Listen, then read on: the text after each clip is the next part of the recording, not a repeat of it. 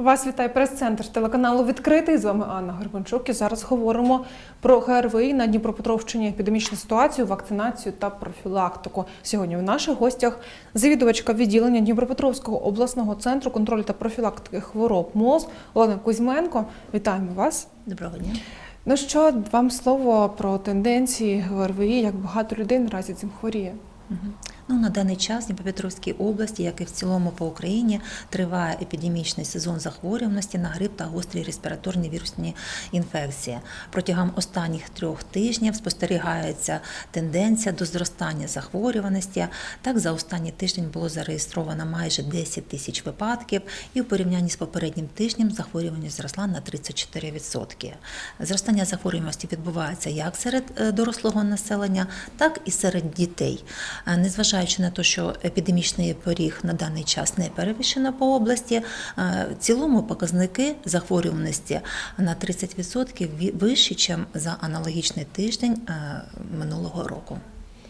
Скажіть, будь ласка, а така такий да, зріст захворюваності е, нормальний для такої сезонності? Для ну зараз особливо от вже у нас морози такі вдарили. Дійсно, це нормальна сезонна захворюваність, яка обумовлена циркуляцією, що підтверджена результатами вірусологічних досліджень безпосередньо вірусу грипу А, який циркулює на території нашої області. Також були виявлені парагрип, аденогрип, метапневмовіруси та SARS-CoV-2. Угу.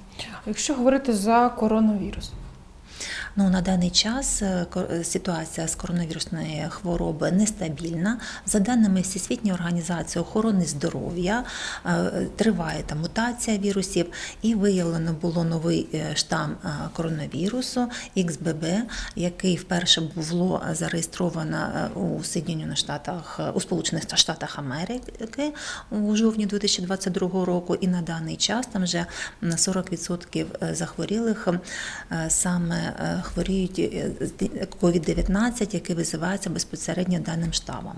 За даними Центру громадського здоров'я на території України, там станом на початок січня даного штаму у нас не виявлено. Але в нас реєструються випадки COVID-19. За останній тиждень їх було там 326. Е, За результатами е, секвенування, які проводяться Центром громадського здоров'я, в нашій області циркулює безпосередньо штам Омікрон. Угу. зараз у нас ом- омікрон. Е, Чи можете назвати такі короткі основні симптоми омікрону? Е, Симптоми загальні, як для захворювання е, коронавірусної хвороби, це і підвищення температури, слабість, недомагання, е, можуть потім приєднатися катаральні явища. Але хочу звернути увагу, що у разі наявності будь-яких симптомів гострої респіраторної вірусної інфекції необхідно звернутися до свого сімейного лікаря. І звертаю увагу на те, що на якість лікування впливають саме результати лабораторного дослідження. Всі пацієнти з ознаками там пневмонії, респіраторної вірусної інфекції, вони підлягають безкоштовному тестуванню, у тому числі із використанням ПЛР-тестування на е, COVID-19, тобто з виявлення там РНК SARS-CoV-2. Тому у разі виникнення зах- е, симптом, перших симптомів захворювання звертайтеся до сімейного лікаря, і вам буде призначено безкоштовне тестування або швидкими тестами, або за можливості там наявності ПЛР-дослідження, які проводяться обласним центром контролю профілактики хвороб на даний час безкоштовно.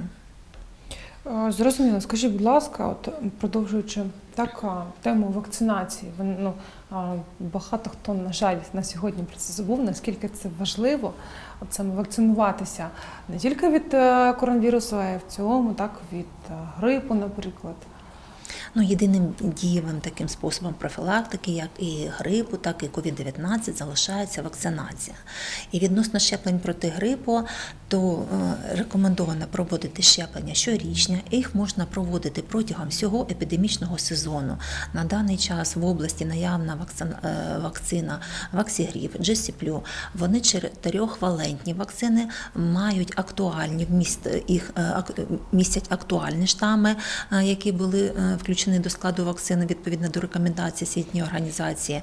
І в першу чергу вакцинація підлягають е, і рекомендована для груп медичного ризику. Це і особи похилого віку, і діти з 6-місячного року, і вагітні, і, групи професійного ризику, ті, які спілкуються з значною кількістю осіб. Це і водії, там і медичні працівники, і вчителі.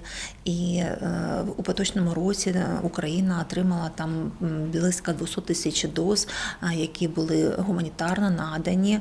І це вакцина і ваксигрип, і, і GC-Flut для вакцинації як медичних працівників безкоштовної, так і окремих груп медичного ризику. Зрозуміло. Я ще хочу уточнити, уточнити, повертаючись до мутації вірусів, чи от так само грип е, до сих пір мутує, як і коронавірус? Віруси всі мутують безпосередньо, тому і проводяться лабораторні дослідження з виділення вірусів, да їх подальше секвенування з метою вивчення, аналізу за- запровадження е, відповідних заходів реагування. Чи можна також від вас почути такі загальні правила профілактики, так окрім основного правила вакцинації? Звісно, можливо, якісь рекомендації, аби не захворіти, адже зараз, ну як мінімум, холодно, є відключення світла, не всі квартири мають е, так е, не електричне опалення від котелень. Тож вам слово. Ну, засоби профілактики це вперше, якщо захворів, залишатися вдома і звертатися за медичною допомогою, не займайтеся жодним разом лікуванням, там діагностиком. Е, І прості правила, які дозволять поберегти захворювання, це уникнення в першу чергу місць масового скупчення людей. Е, Це необхідно одягатися за погодою. Тобто, якщо у вас прохладно, будь ласка, там надягніться там теплу ковтинку, там вдома чи в офісі. Дотримання правил, правил провітрювання, вологого прибирання.